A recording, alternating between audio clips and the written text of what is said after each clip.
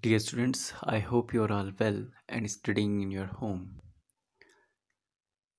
Last week we completed our chapter reproduction in plants and animals and know about the different methods. So in NCERT book also a chapter given reproduction in animals only so in this chapter some things are same as we discussed in our earlier videos but something which are add on to this chapter. So we discussed about viviparous and oviparous animals which you have to know. We have learned that some animals give birth to young ones while some animals lay eggs which later develop into young ones. The animals which give birth to young ones are called viviparous animals. Okay, those animals which lay eggs are called oviparous animals. The following activity will help you understand better and differentiate between oviparous and viviparous animals. So, try to observe eggs of the following organisms. If possible, frog, lizard, butterfly or moth, hen and crow or any other bird. Were you able to observe eggs of all of them? Make drawing of the eggs that you have observed.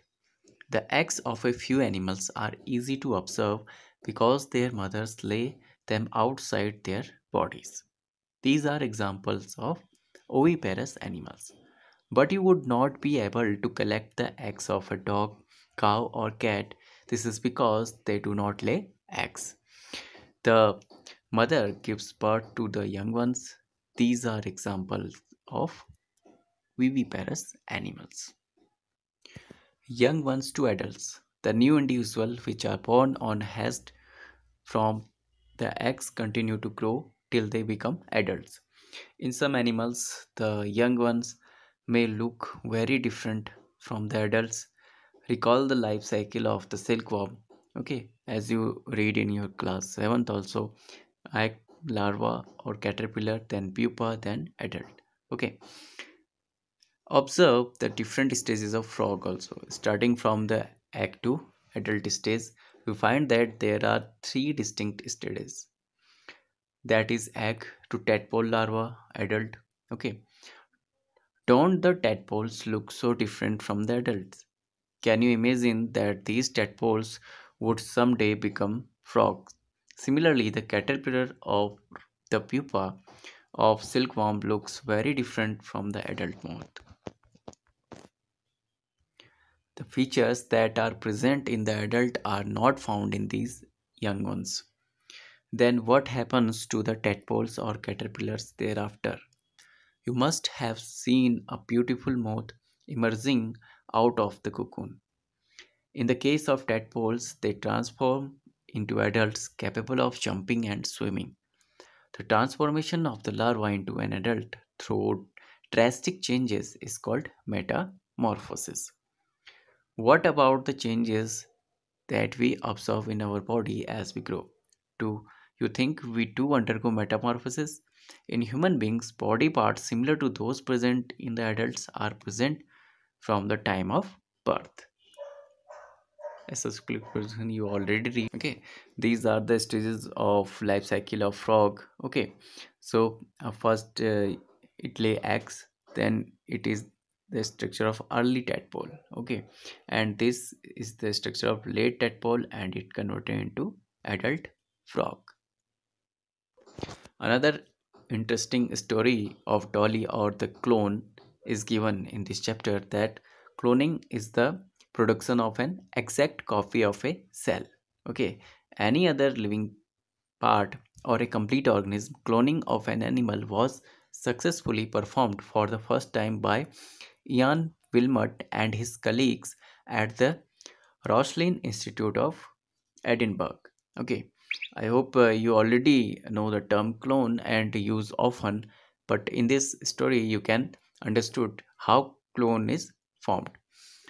Okay, this is the story of uh, Edinburgh, Scotland, in which first time clone is made. Uh, clone was made. They successfully cloned a sheep named Dolly. Dolly was born on 5th July 1996 and was the first mammal to be cloned. It is the first mammal. You have to understand that first mammal uh, which uh, has been cloned. Okay, this is uh, uh, first we read the story then i tell you that what are the figures there during the process of cloning dolly a cell was collected from the mammary glands of a female Finn Dorset sheep so you can see this is a female Finn Dorset sheep and this it is a male second female Scottish blackface avi okay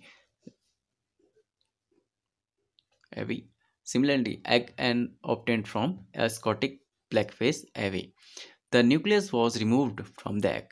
Then the nucleus of the mammary gland cell from the Finn Dorset sheep was inserted into the egg of the Scottish blackface avi whose nucleus has been removed.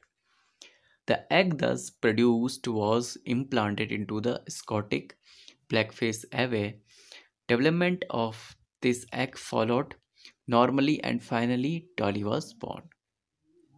Though Dolly was given birth uh, by the Sc- Scottish uh, blackface avi, it was found to be absolutely identical to the Finn dorset sheep from which the nucleus was taken. Since the nucleus from the egg of the Scottish blackface avi was removed, Dolly did not show any character of the Scottish blackface avi. Dolly was a healthy clone of the Finn Dorset sheep and produced several offspring of her own through normal sexual means. Unfortunately, Dolly died on 14 February 2003 due to a certain lung disease. Since Dolly, several attempts has been made to produce cloned mammals.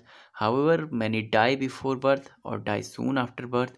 The cloned mammal animals are many a times found to be born with severe abnormalities. Okay, so this is uh, you can say uh, only one uh, mammal which is successfully uh, produced till now, which uh, lives from 1996 to 2003 okay.